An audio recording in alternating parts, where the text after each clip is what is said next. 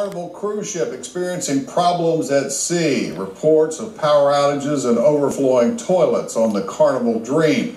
The cruise line says the problem is an issue with the ship's backup generator. Carnival says the ship never lost primary power and all guests are fine.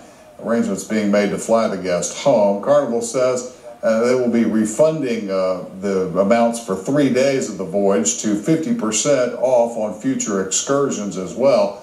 Carnival Dream is based in Port Canaveral in Florida. Its latest incident comes just about a month after another Carnival cruise ship was stranded for five days out in the Gulf of Mexico.